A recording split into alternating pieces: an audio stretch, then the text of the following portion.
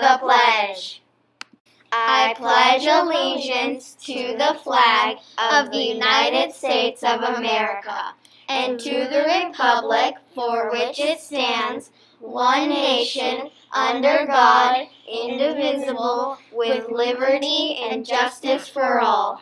Yo prometo lealtad a la bandera de los Estados Unidos de América y a la República que representa una nación bajo Dios entera con libertad y justicia para todos.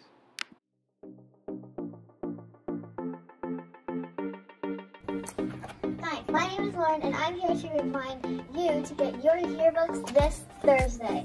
You can get them at the front of the school for $16.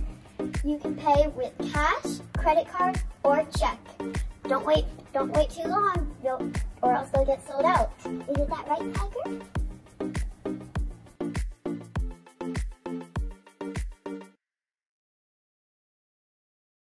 I love science.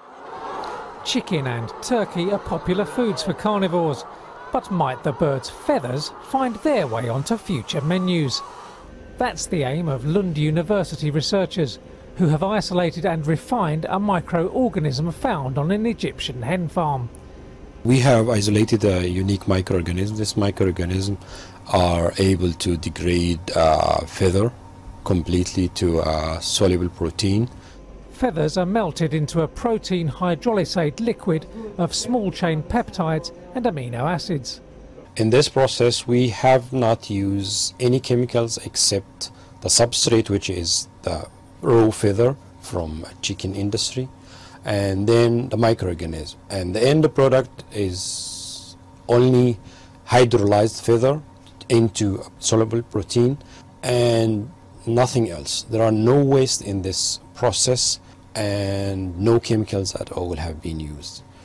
The microorganisms have a 90% conversion rate and could replace fish meal and soy protein as animal feed. Spin-off company Bioextrax hopes to perfect the technique next year. After that, researchers plan to adapt their protein for human consumption. No doubt ruffling some feathers on the way.